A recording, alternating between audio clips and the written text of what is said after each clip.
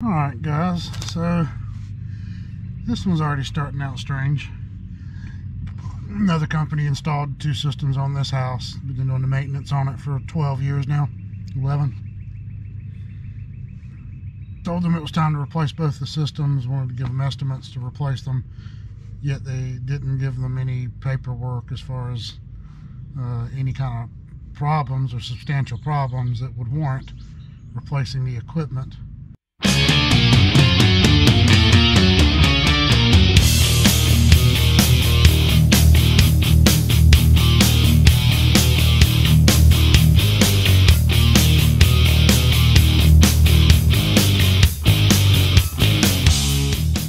Equipment.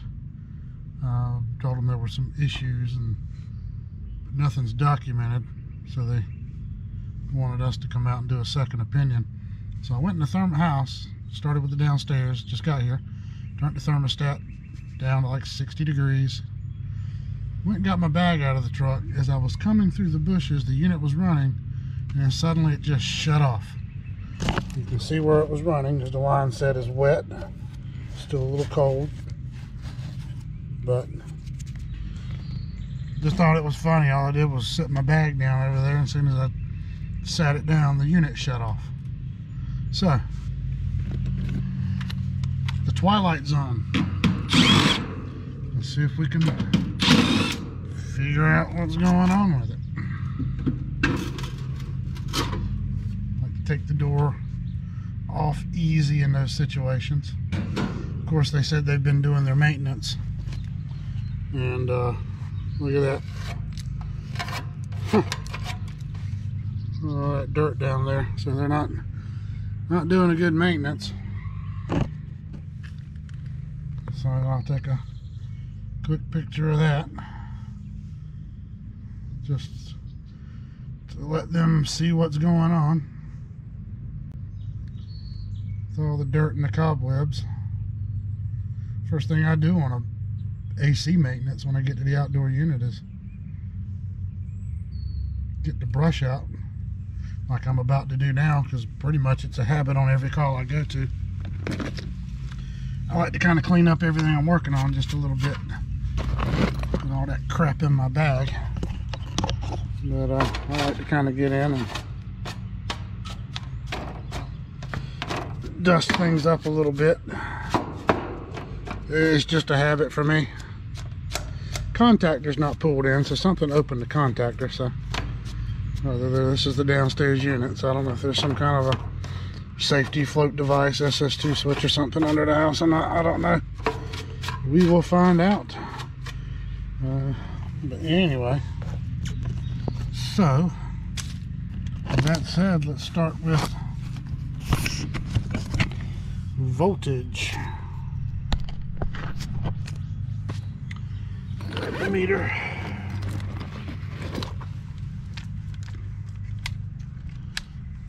Yeah, I thought this was going to be kind of a quick, easy in and out. They said they haven't had any problems with the units. Been working fine. Um, but this other company told them that they needed to both be replaced. They don't look in horrible physical condition other than the dirt and dust that they didn't clean out when they were here doing the maintenance. So got 246 volts right there. Pretty positive I'm not going to have 24 volts to the contactor or it would be closed. It is a little cruddy in there, black. Just the original contactor. It's going to be sooted up in there a little bit. So contactor is definitely not a reason to replace a system. At least not my opinion anyway double check. So I have no voltage to the contactor. So let's go straight to our thermostat wires.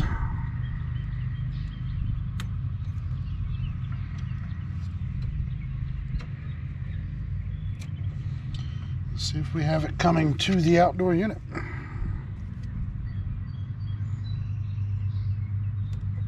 And do not. So for whatever reason, 24 volts stopped coming to the outdoor unit from inside and it is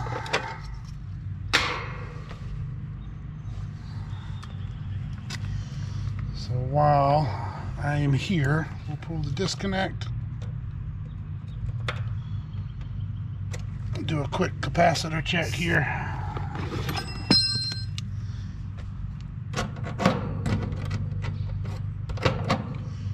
check the start capacitor and the run capacitor.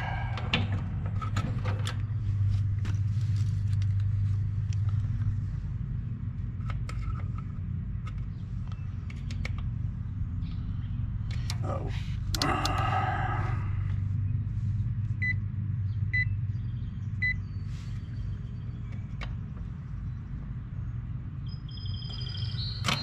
That's giving me 192.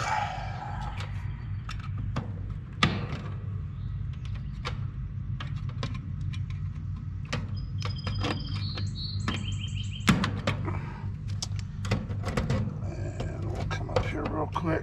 This is a 40 by seven and a half.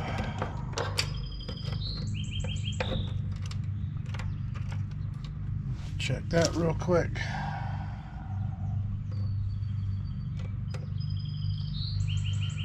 Thirty-nine point eight. Seven point four. So that's gonna be okay.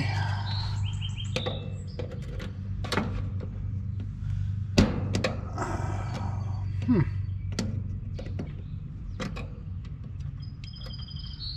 That was weird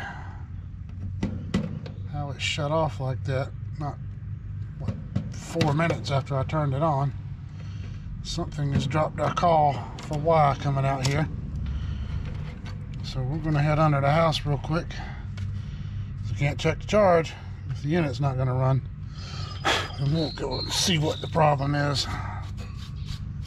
But yeah, they didn't clean a, a turd out of this thing.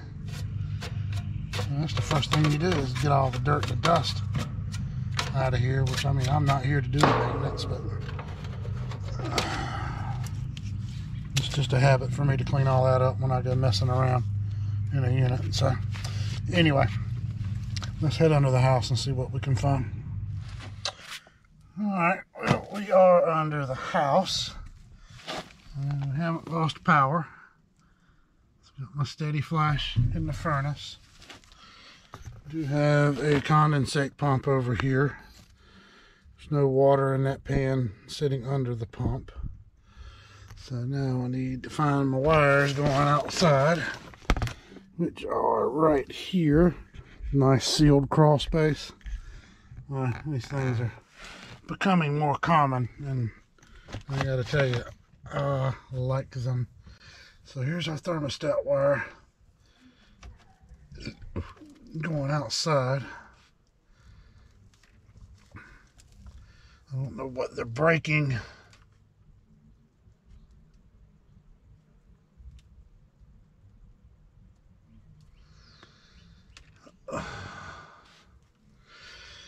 There's the one going to the outdoor unit. It's coming back here behind my head. And then going across here. So it's this one the, right here. And then right there. So I need to trace it back to where it connects this one. Right here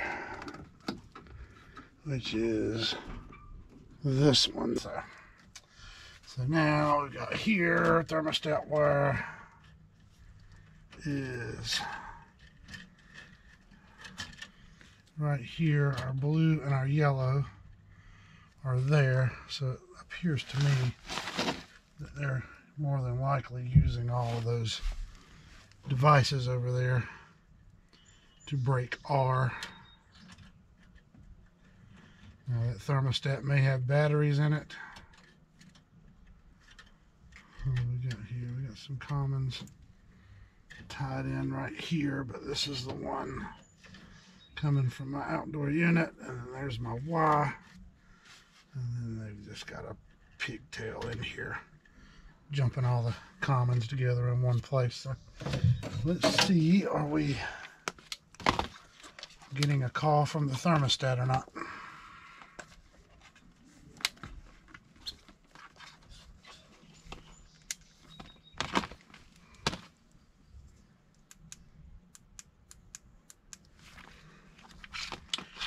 And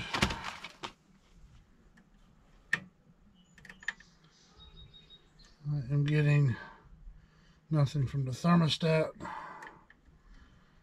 But I do have 24 volts coming off this board.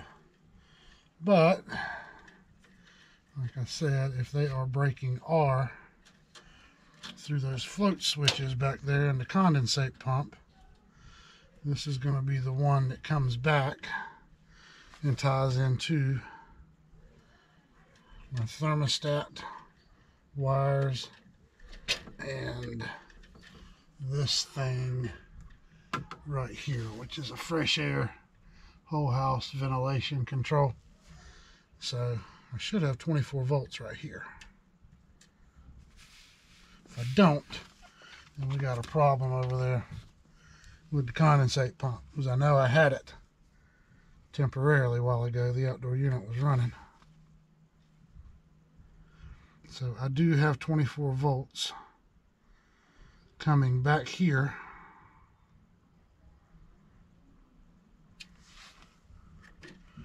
on R going back to the thermostat and going back to that but I'm not getting 24 volts coming back from the thermostat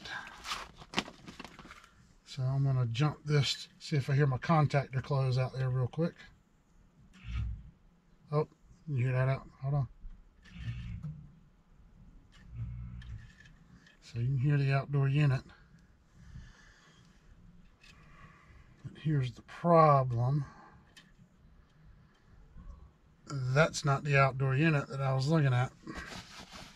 Because that disconnects out. So that might have been the upstairs unit that just shut off when I got here. And I walked around there maybe, but here's the problem. The downstairs thermostat is in a call for cooling right now. So, why am I not getting 24 volts back here to that unit? it should be on and running but I don't have 24 volts so but when you hear me jump 24 volts to Y right there you hear that outdoor unit come on. So next step will be the thermostat. Okay back outside real quick. This is the other unit. I was at that one first.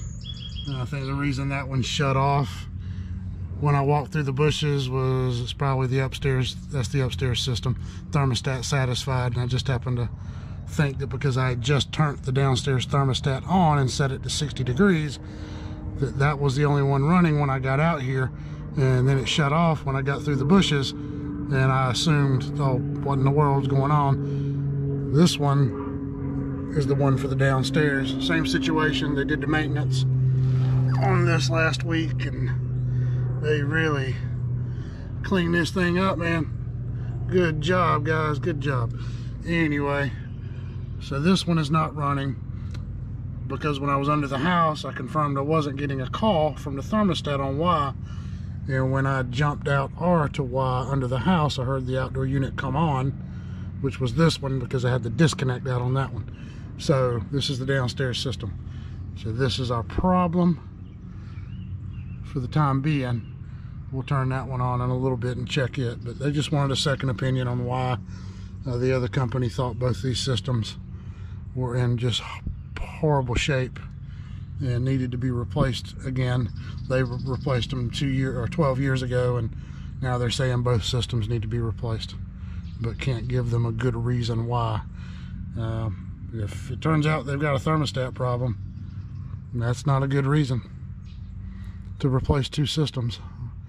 So let's get that figured out real quick. All right, guys, got these things running. Like I said, that other company said they came out and did their cleaning. They've been doing it for oh, 12 years, and you see all the crud down at the bottom of the unit. They didn't get anything out down there. They didn't, they didn't clean anything. Came out here. Now, they told them both these systems needed to be replaced, but yet they still sold them a capacitor. They didn't bother recommending that contactor, which it's working, but uh, but yeah, they told them these units were in bad condition. You saw how clean that furnace was under the house. We'll get up in the attic in a minute. and as far as why the unit wasn't coming on and I wasn't getting voltage out here, we'll chalk that up to being rusty after vacation. I didn't pay attention to the thermostat. I just went in there and assumed it was already in cooling. Turned the temperature down to 60 degrees. It was actually set to heat, so that's why nothing was running. so chalk that one up to a rusty after vacation mistake.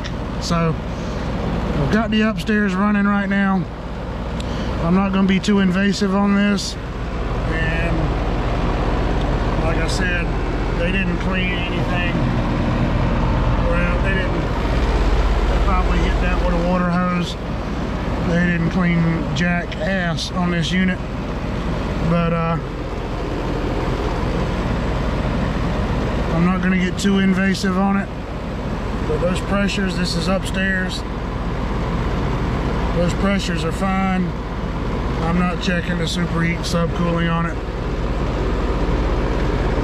I'm just going to check those quick pressures and just here to do kind of a second opinion once over and to give them my opinion of why they would have told them they need to replace their systems that have been working perfectly fine and then they come out for the maintenance and say they're in bad shape and need to be replaced and they're not working properly. So this is the upstairs. I'm not finding any issues other than the fact they didn't clean it. Uh, we went under the house. That furnace is clean. It's spotless. There's no rust in it. It's a 90% furnace. No signs of water leakage inside of it. Uh, I'm not seeing a reason at this point to replace these. So let's get the other unit on and see what that charge looks like. All right, we've got the other unit on now. We'll let it run a couple of minutes. And uh, yeah, I gotta tell you, they do an outstanding job with their maintenances all stuff up. I mean, this is the only thing the homeowner is going to see is your outdoor units. So you come to do a cleaning, what you call a, a preventive maintenance cleaning, and the one piece of the equipment that the homeowner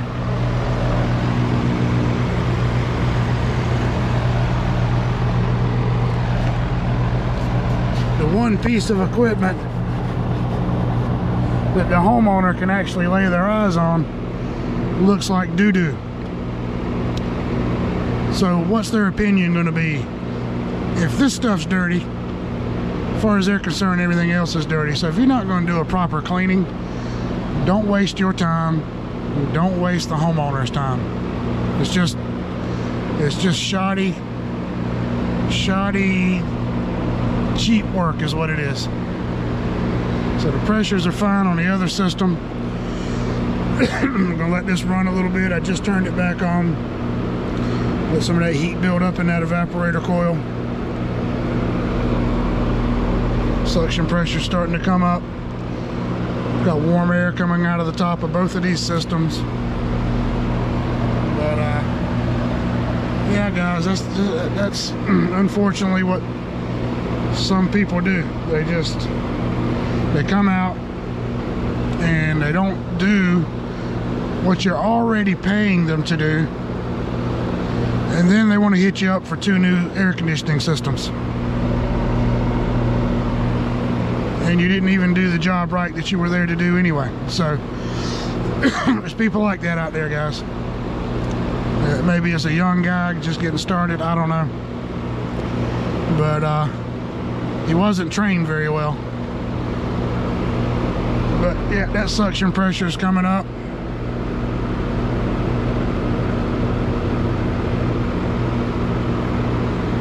And I mean, there's nothing here that justifies me excuse me, telling these people they need new air conditioning systems. I mean, yeah, they're 12 years old. If they have a major repair, which is what I'm going to tell them, you know, if you get to a point where you've got a coil or a compressor that needs to be replaced, um, maybe a TXV motor, no, change the motor. Um,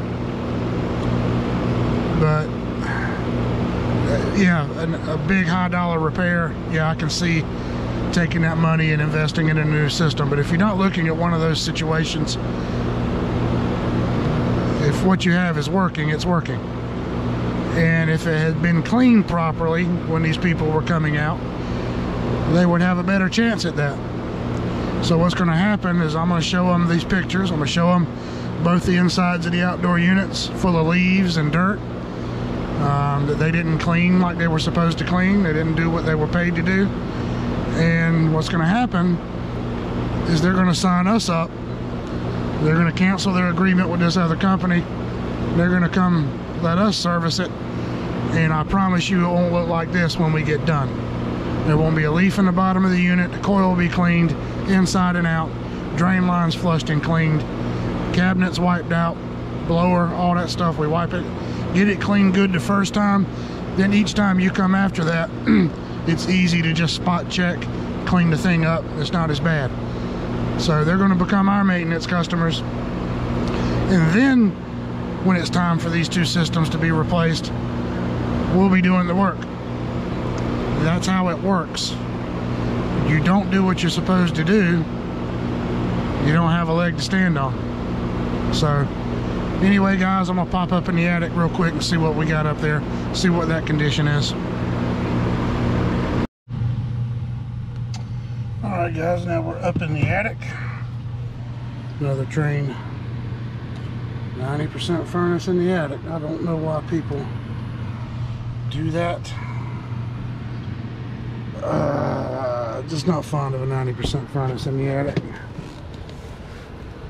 Look at this. Here's another example. So this company installed this unit 12 years ago. They've been cleaning it. Cleaning the evaporator coil is kind of part of the maintenance.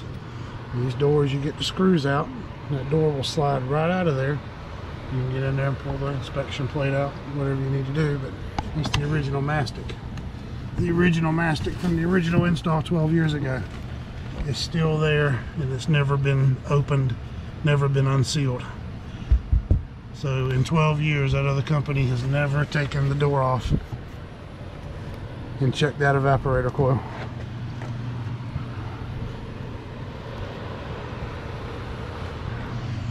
So anyway, just do a little quick once over up here. Like I said, I'm not going to be too invasive because we're not doing the maintenance on these units at this point. But uh, no rust, no, going downstairs in the crawl space. I'm not seeing any rust damage, which indicates that you got a leak in your secondary heat exchanger in these Trane furnaces. You saw that video I did couple weeks ago checking one of these heat exchangers showing you where it cracks at. Not seeing any signs that that's a problem on this one because you'd have that rust along the bottom wall there. So refrigerant charge on both these systems was good. Check the amp draw real quick on this blower motor. Did notice the filters inside are dated from back in December, so they weren't they haven't been changed in what, four months, four and a half months. So.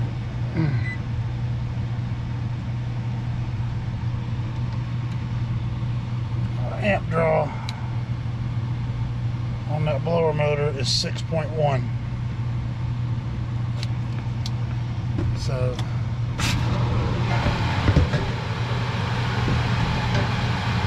look at that. There's going to be a rhyme to my rhythm here.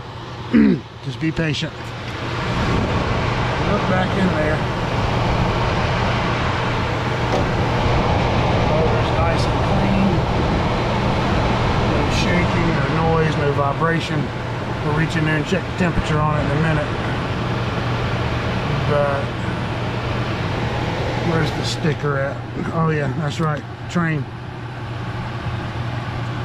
It's upside down. Be patient with me here a minute. I'll turn this off temporarily. I want to try to read something if I can read it on the sticker. Yeah. So the amps on this motor is 5.8 and it's reading 6.1. Now with dirty filters, mind you. They told him he needed to replace both these units because the amp draw on the blower motor was three tenths higher than it needed to be. So rather than recommending a new motor in a furnace that as you can see is in perfectly good shape to be 12 years old, we are up in an attic. So he told him he needed a new furnace. So I don't know what they quote unless they're quoting $2,500 to put a PSC blower motor in. There's no reason for that. So I'm going to check the amp draw on it again with the door off and see what happens. real first, real quick. This unit's been running for about 30 minutes now. And that motor, I can hold my hand on it. It's warm. It's not hot.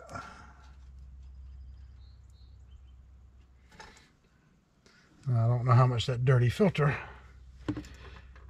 is playing in it pulling 6.1 instead of 5.8. We are running in high speed for cooling. So let's reset this thing. It's got his own board. That could be part of the problem. Let me go.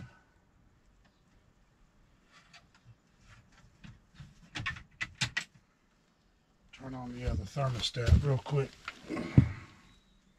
We'll see what it does. I'm just to jump it out. We've got a damper closed. and this one being zoned. You get a damper shut. It's going to change your static in the system. I can see that running the amp draw up a little bit. But uh, let's see what the amp draw is with this door off. I know it's going to be different because the static is really going to be way out of whack at that point.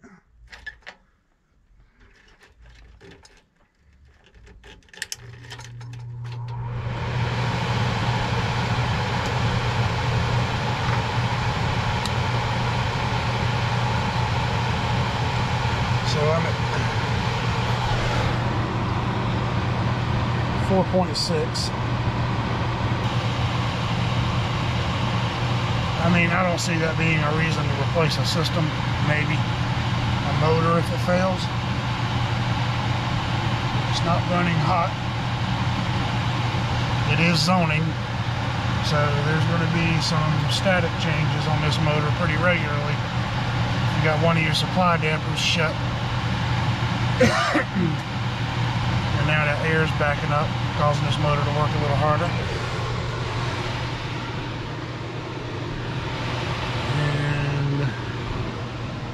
And just checking to see if there's a bypass. Uh, yep, there's a bypass damper over there. So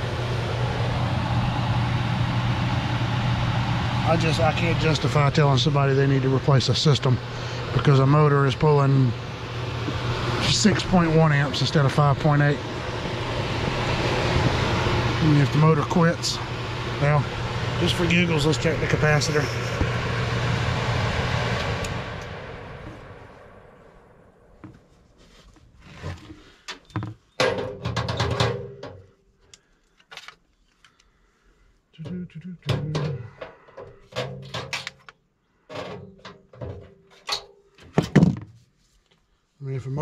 Replace the motor. I'm not replacing a system. Yeah, now if it was 30 years old, 20 years old, and it was just rusted all to pieces and, and all that kind of crap, then yeah, maybe for a blower motor, you consider going ahead and getting a new system. But these units look practically new. They're only 12 years old. I mean, obviously they're not under warranty anymore. But I mean, uh, replacing a system, yeah, 4.9 out of 5. Replacing a system over a $700 motor. That makes no sense to me. Now, if the homeowner asks for an estimate, that's one thing. But using that as bait to get a, a salesman in here, that's a whole nother situation. Hello. All right, that was just one of my guys calling. He had a question about something. Um, but yeah, I'm gonna wind this up, guys. I'm not pushing this guy for a new system. Yeah, if he wants to have us start doing the maintenance because they're not cleaning anything outside, that's fine. We'll come and do it, but I'm not. I'm not gonna. I'm not gonna push a new system or over, over a, a motor that's working. I mean, it's warm. It's not hot. I can hold my hand to it. Um, it is pulling 6-1. It's probably got some wear and tear on it. It looks like it's the original motor. And it's on a zoning system. So that all starts to add up now. So uh, run it till it quits. You know, if he wants a new motor, we'll give him a price for one. But uh, it's not it's not something I'd replace a system over. So and I'll let him know we keep motors on the truck. Uh, we can get the OEM motor or he can just let this thing run till it dies and then put a motor in it. Don't replace it because of a motor. At least not this particular unit. It's in good shape. So anyway, guys, that's to wind it up. Appreciate you watching. Like, subscribe. And uh, we'll see you next time around.